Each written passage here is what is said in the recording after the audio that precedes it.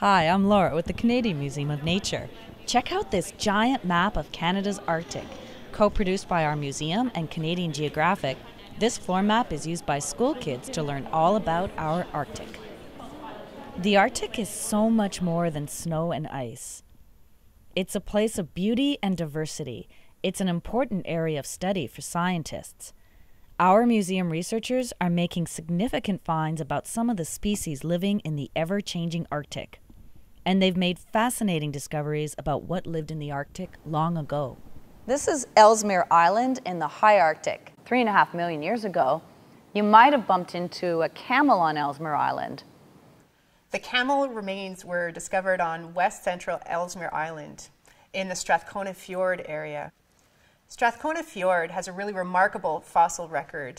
What this find really highlights is that the high Arctic is a frontier for paleobiology we are always finding new taxa, new um, specimens that reveal important information about the history of biodiversity on the planet and also the history of climate change. Now I'm going to take a short stroll to the Coppermine River in Nunavut, where our botany team has collected hundreds of plant specimens during summer fieldwork.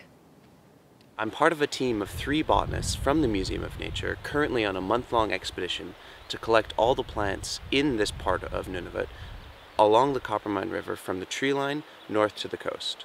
What we're finding is a lot of more southern boreal species at their northern limit in this area and some northern Arctic species at their southern limit in this area. I think most interestingly, we have found balsam poplar, which is a, uh, a tree uh, that you know from down south um, but we found it actually growing just not even 100 meters away from our camp.